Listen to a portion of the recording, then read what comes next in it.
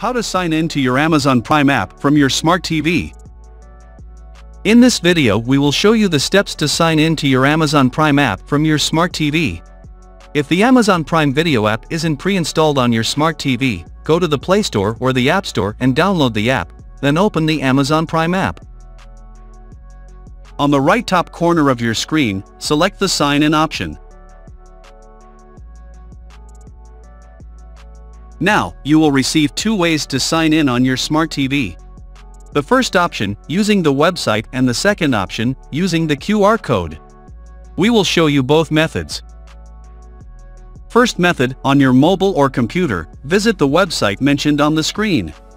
That is, primevideo.com slash mytv. Sign in to your Prime Video account. Enter the code shown on your TV. Press register the device. Success! Your device is registered to a Prime Video account, your TV app page automatically updates. The second option, using QR code. Scan the QR code using your mobile camera or QR code reader on your mobile device.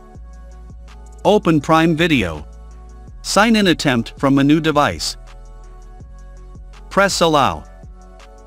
Once you allow the device, your TV app page automatically updates.